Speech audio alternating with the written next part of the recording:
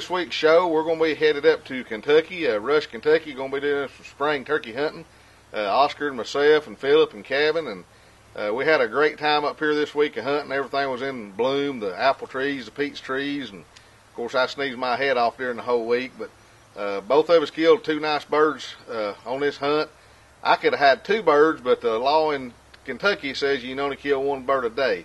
And as y'all will see on film, that we had two that come in, and they, I didn't think they was ever going to separate. And uh, I'd get ready to shoot, and but Philip couldn't. He wasn't on the right one, so it just back and forth. And they actually seemed like he was batting our lap by the time we actually killed one of the birds. But we had a great time, a great week. Uh, sit back, enjoy. Hope y'all enjoy it.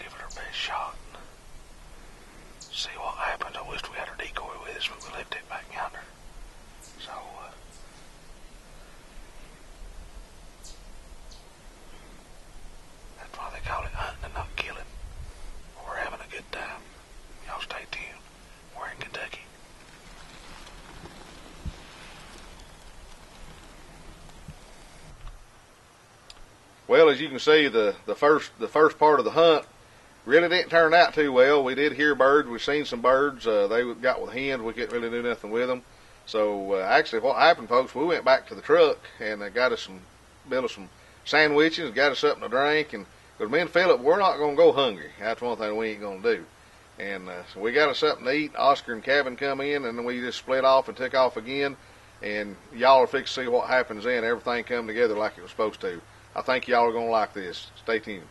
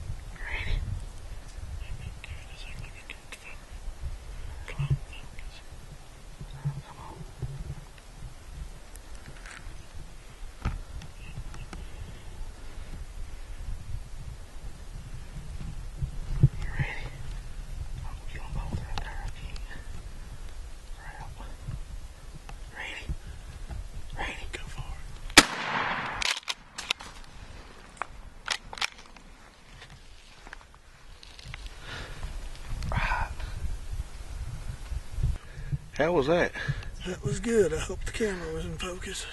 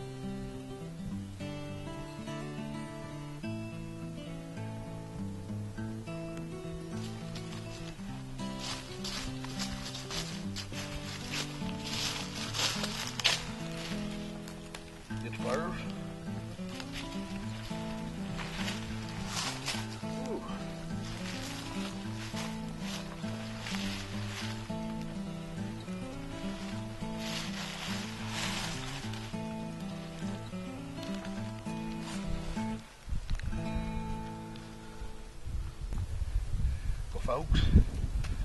My first day of hunting in Kentucky. We come out here this morning. Couldn't do nothing with them with the hens. We went to the truck, got us a sandwich. Me Philip come back out here and we set out the decoys and uh, called us every now and then a little purring, a little clucking, and had these two come in. Uh, can't kill but one a day in the state of Kentucky. You allow two birds per season, so uh, had to let them kind of get separated. So we got this one, and then uh, after we shot, had two more come in from the lower end, and uh, they wanted to come up here, but they never did. So we'll save them for tomorrow, won't we, Philip? That's right. But uh, I'd like to thank God. Uh, he's got some good spurs on him. Good, good heavy bird. Got a good beard on him. Good beard here. This blessed, beautiful animal. And uh, I mean, couldn't ask for nothing else. Just like thank God for the opportunity uh, to get to come up here. We're up here at the Kentucky Antler Company in Rush, Kentucky, and uh, just having a, a good time. If you want to, we've seen I don't know how many turkeys we've seen today, Philip. Several, and they was gobbling their heads off this morning. They said they'd been silent for the last few days because the temperature dropped.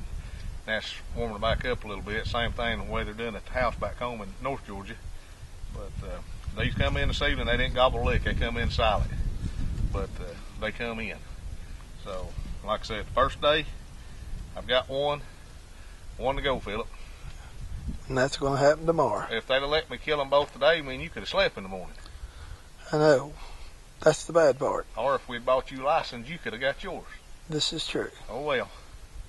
Well, folks, stay tuned. You're watching Extreme Christian Outdoors. We're turkey hunting in uh, Rush, Kentucky, at Kentucky Antler Company.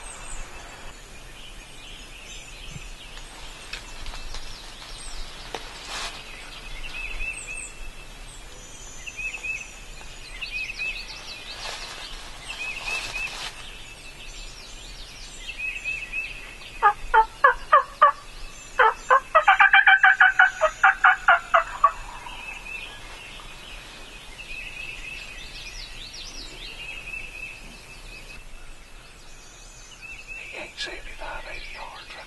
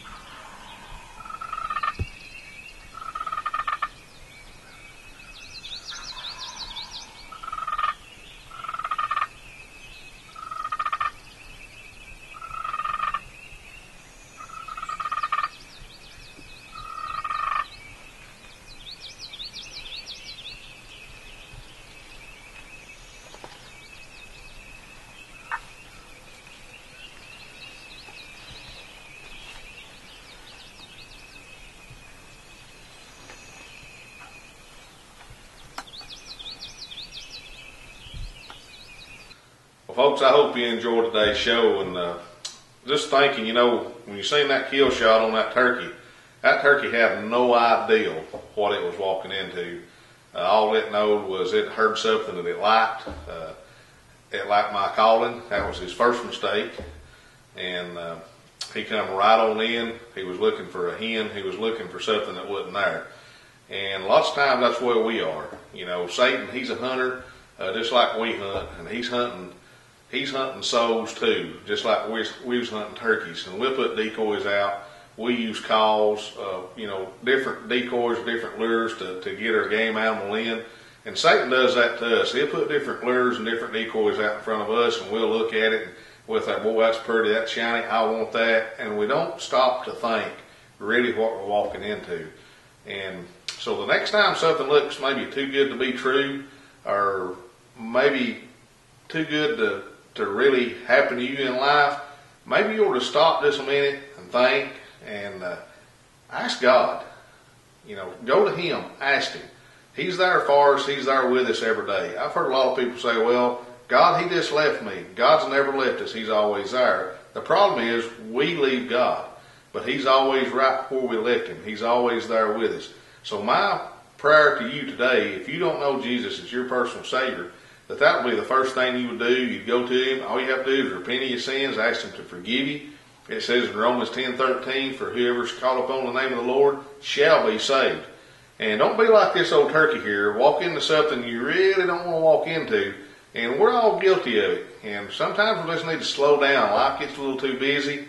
And sometimes the reason it gets too busy because Satan lets us allow that. He causes that for, for us to get too caught up in the things of the world and we really don't think things out. So next time something looks too good or or you know may not may be too good to be true, stop and think.